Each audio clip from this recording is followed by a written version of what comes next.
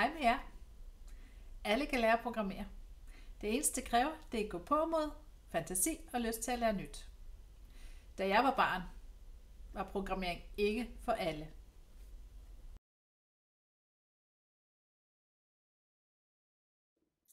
I hvert fald ikke for mig. Så gik der rigtig mange år, indtil en dag jeg mødte Scratch. Og så så det helt anderledes ud. Scratch er for dig, der har lært at læse. Og med Scratch kan du lave hvad som helst. Tegnefilm, musikvideoer, kunst og endda computerspil. Det er kun din fantasi, der sætter grænserne.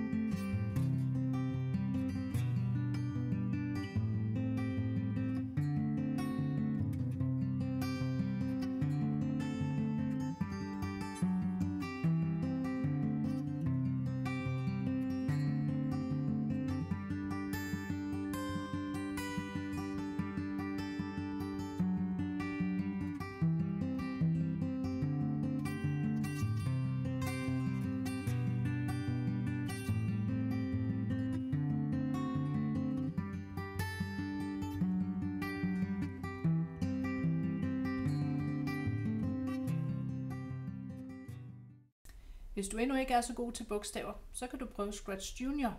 Det er lidt lettere at lære, men minder stadigvæk rigtig meget om Scratch. Og det betyder, at hvis du en dag er klar til at gå videre, så skal du ikke starte helt forfra.